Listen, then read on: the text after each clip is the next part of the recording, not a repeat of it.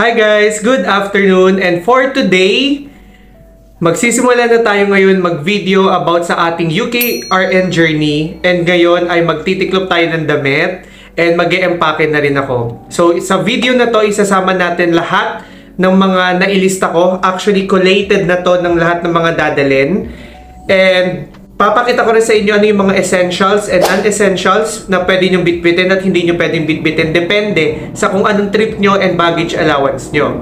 So kung bago ka sa aking channel, I have here two previous videos regarding sa ating mga um, last trip dito sa Pilipinas. And more or less, may popost natin tong video na to right before I leave the Philippines.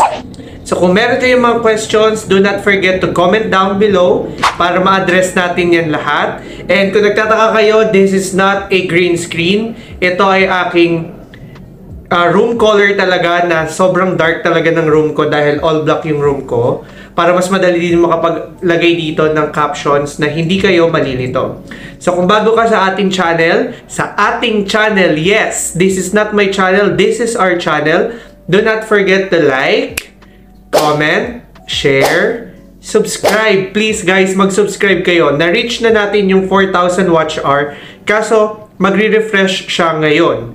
Kaya marami pa tayong hahabulin. We're not yet uh, close to 1,000 subscribers pero I believe maabot naman natin siya ngayon. So please guys, let's help each other na ma-reach yung 1,000 subscribers para din maka-monetize na tayo at mas makatulong tayo sa mga gusto nating tulungan dito sa Pilipinas. So simulan na natin. Meron pala akong kasama ngayon. Um, andun kumakain siya. In-invite ko yung lola ko para may katulong ako magtiklop at mag-prepare ng mga i-impake natin. So simulan na natin and do not forget na mag-take down notes para alam nyo kung ano yung mga dadalhin nyo. Thank you!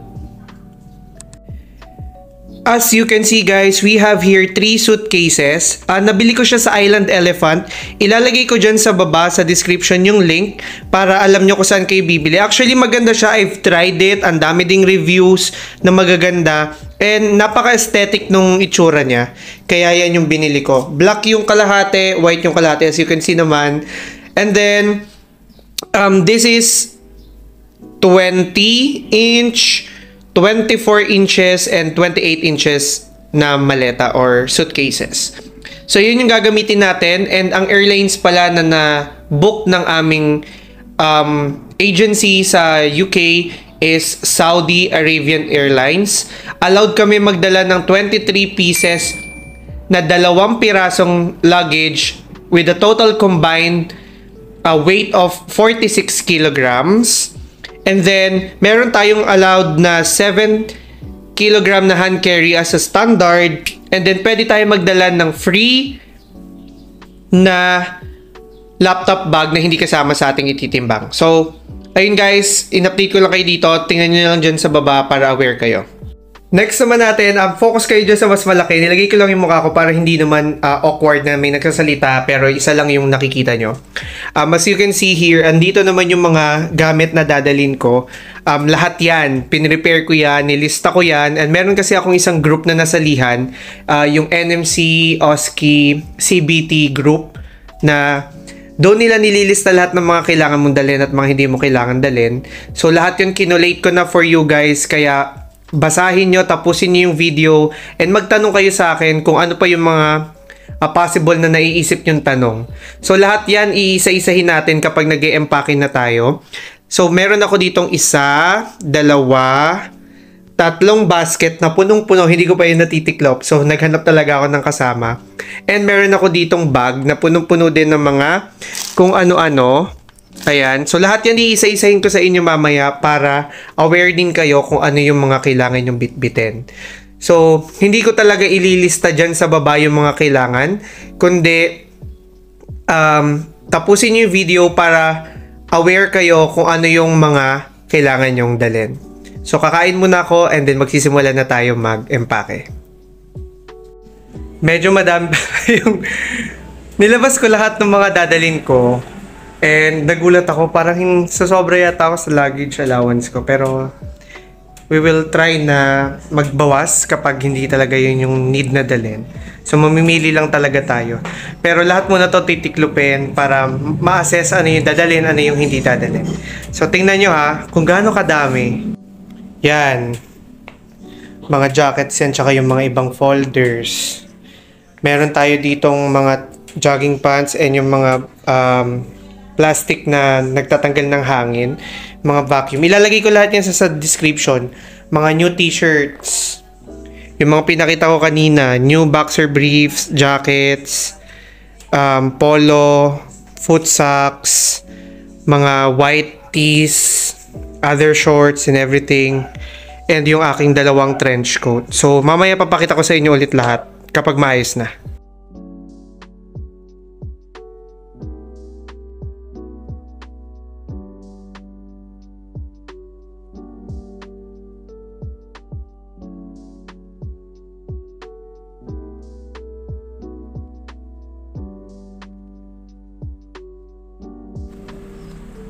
Ayan, mag mag-start na tayo ngayon mag-empake. Um, yung una, bumili ako ng ah, mga vacuum sealed na plastics tsaka yung pump. Lalagay ko dyan sa video, ah, sa baba, sa description, yung mga link nito sa Lazada or Shopee. Hindi ko sure ha, pero kung saan yung mas mura dun kasi ako bumili. Then nagtiklop kami, then nakit kasama ko pala yung lola ko. Yan si lola. Ayun. Yan. Sobrang dami, parang mag exceed ako sa 46 kilos. So sobrang dami na nakikita nyo dyan sa likod. Pero pini- pipiliin ko muna, ipaprioritize ko yung mga bagong bili at yun yung isasama ko sa sa pag empake ko. Prepare ko lang muna para makita nyo and then maisa-isa din natin kung ano yung mga ilalagay muna natin. Yan, nilatag ko muna dun sa maleta, sa pinakamalaki. Ang mga nakalagay dito sa una, um, mga pants, jogging pants and shorts, damit, tsaka mga undies ko. So yan muna yung nilagay ko din, tsaka ko papatungan ng isa pang vacuum sealed na plastic. Ayan, makikita nyo naka-vacuum sealed na lahat. Kaya mas magkaroon pa ng mas malaking space. Kaya sobrang advisable nyo talaga na bumili kayo para mas makatipid kayo sa maleta nyo. So ngayon next naman natin yung mga iba pa nating dadalhin. Pero sasalain na natin maigi kasi para mag excess talaga tayo kapag di tayo naging careful sa paglalagay. Bali, ayan. Ayan yung first layer na nilagay ko. Ito, puro mga damit. And then dito, mga undies pa ulit. Panyo. And then nasa ilalim na yun yung socks. Hindi ko na nilagay kasi ma-occupy lang ng plastic. Sayang naman yung vacuum sealed. And yun nga, katulad ng sabi ko kanina, meron dito mga pantalon, shorts, and everything. So, ito lang yung dadalhin ko. Then next, yung second layer naman, siguro yung mga other damit at saka yung iba pang pwede natin ilagay dito para magkasya sa 23 kilos. Update ko na lang kayo. Ayan, kakatapos lang natin dun sa unang maleta. Bali, ayan yung content nung second layer. Nilagay ko na dito, bali yung first maleta ko, dito ko na ilalagay lahat ng mga damit kong gagamitin. Then, sa hand carry na lang yung ibang mga t-shirt ko na hindi ko pa na ilalagay na kailangan ko ding isama. So titimbangin muna natin, titingnan natin kung mag-equal siya sa 23 kilos. Then magpo-proceed na tayo dun sa second maleta na maglalagay naman tayo ng mga goods na dadali natin papunta doon sa UK. Yan, tinimbang natin yung unang maleta and ang timbang niya ay 15.4 lang. So sobra pa tayo ng sobra pa tayo ng 8 kilos. Bali, 15.4 yung una nating maleta. And yung second naman, para mas madali, isa-isahin ko na sa inyo muna. Medyo maingay na kasi uwian na eh. Nasa highway din kasi kami. Um, ito, ang laman nito, yung mga basics lang. Mga ballpen, pencil, highlighter para sa review natin. And pentel pen. Huwag nyo kakalimutan yan. Ilalagay ko na lang din lahat dyan sa baba yung mga listahan ko para aware din kayo kung ano yung mga dinala ko. Meron din akong essential oils na panghilo, pang pain relief, at saka pag, sa panghinga. Naglagay ako niyan. Bumili ako. Maraming, in, maraming inhalers. Iba-ibang flavor yung binili ko. Kasi uh, meron akong post-nasal drip syndrome, uh, syndrome lagi. At saka uh, may allergic rhinitis ako.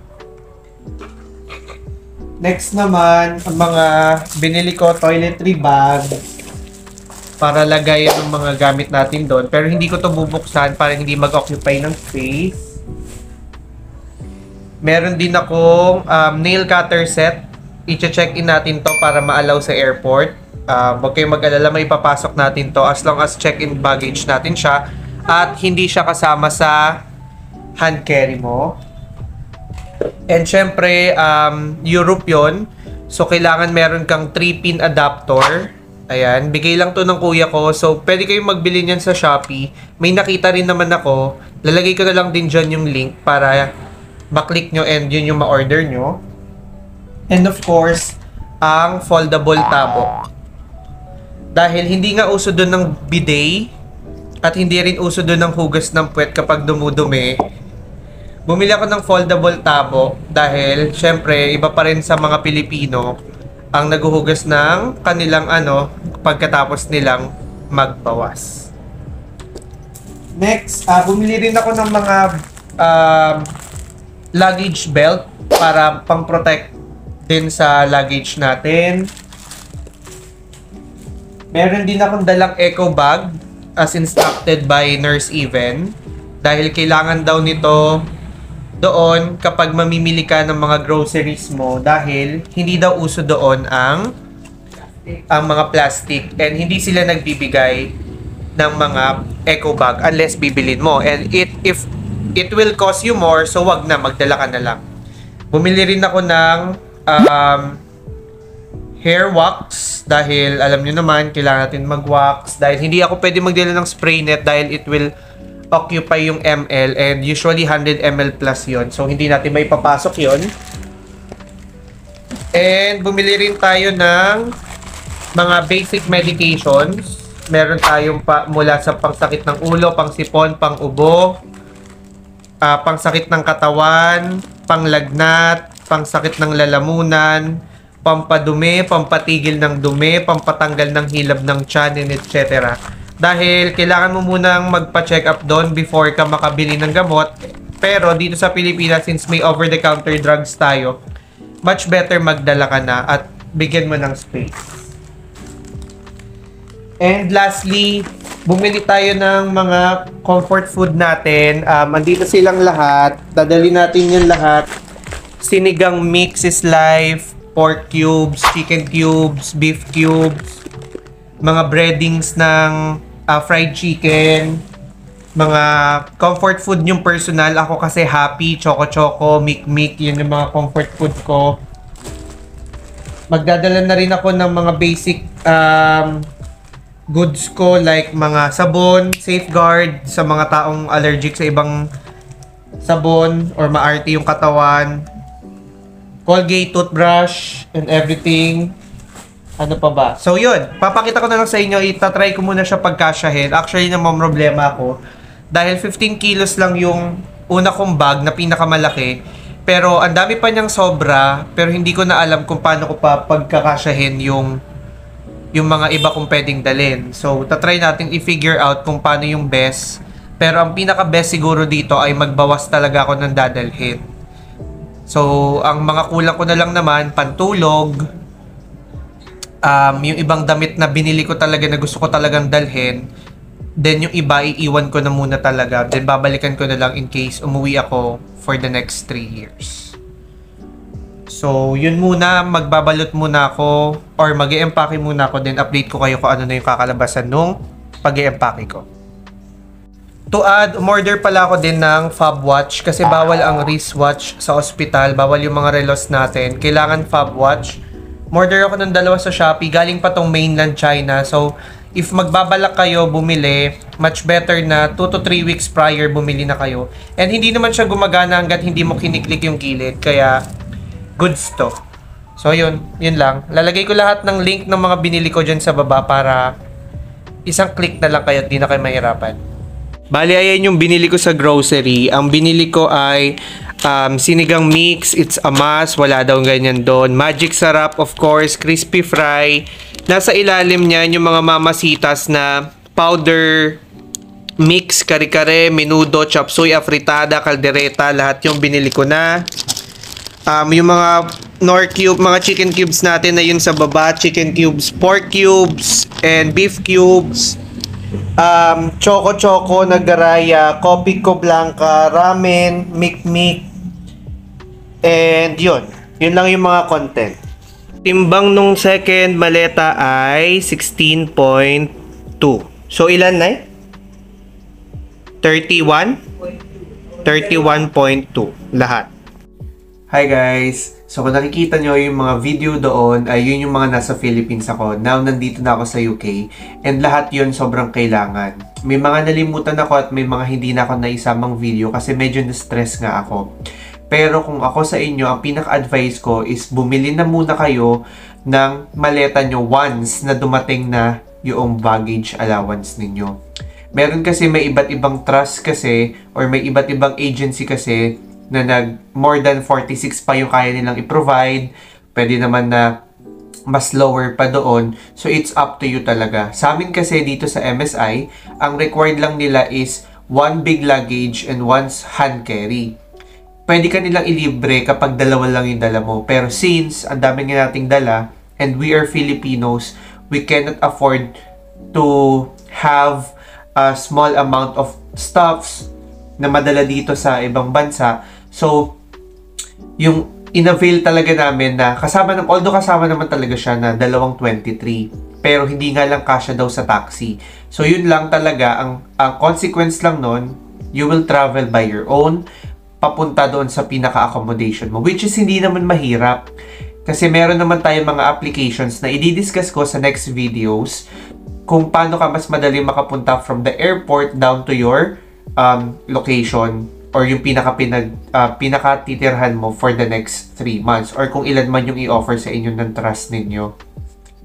So hindi ko alam kung ano-ano yung mga uh, contents per airline. Alam ko lang talaga yung Saudi Airlines kasi yun nga yung uh, aeroplanong sinakyan ko. And uh, it's highly recommended na ang bilhin nyo yung dalawang biggest na. Dalawang biggest, yung pinakamalaki na kaya nyo ma-imagine sa maleta. And yung isang hand carry. Actually, sa Philippines lang nagkaroon ng pinaka-aberya. Kasi hindi nila kinakount yung maletang hand carry, yung pinaka um, laptop bag mo, and kung meron ka man dalang backpack, or um, sling bag para doon sa mga person, uh, personal stuff mo. Pero pagdating sa Saudi, hindi na nila yan check. Kaya as much as possible, kung kasya nyo muna, pagkasyahin nyo muna sa hand carry ninyo, yung mga gamit ninyo na gusto nyo pang ilabas afterwards. Kasi para hindi kayo matulad sa akin, na sinuot ko na isa kong trench coat and isa lang yung dinala ko dahil hindi niya talaga kasya yung another trench coat pa. So ano pa ba? Um, guys, if meron pa akong mga nakalimutan or meron pa kayong mga naisip na questions dyan, do not forget na i-comment yan sa baba para ma-address natin immediately and makatulong tayo sa pag empake ninyo. Pero guys, sobrang napakalaking tulong ng vacuum seal and yung mga comfort food and yung mga kailangan ninyong goods and ingredients is dalhin nyo na from Philippines papunta dito. Bigyan nyo siya ng space kasi sobrang mahirap bumili dito ng mga Asian goods. Dahil kung wala akong dala, wala kaming kakainin na malasa. Totoo yun kasi sobrang bland talaga ng mga pagkain dito. So yun lang guys, medyo minadali ko na to kasi alam ko medyo 15 minutes na yung unang video habang nag edit ako. And ngayon ko lang din siya inedit kasi alam ko marami akong itatype. So kung may mga questions kayo, katulad nga sabi ko, i-comment nyo dyan sa baba. And please guys, i-share nyo and mag-subscribe kayo sa ating channel kasi napakalapit na natin sa ating 1,000 subscribers and para ma-monetize tayo for us to help to other people. And guys, do not also forget to pray for those who are uh, affected by the earthquake in Syria and in Turkey. Uh, since we cannot offer something pa naman, let's just offer yung pinaka-highest na kaya nating offer, yun yung prayers. So yun lang guys. Thank you so much for watching and I hope to see you on my next videos. Bye-bye!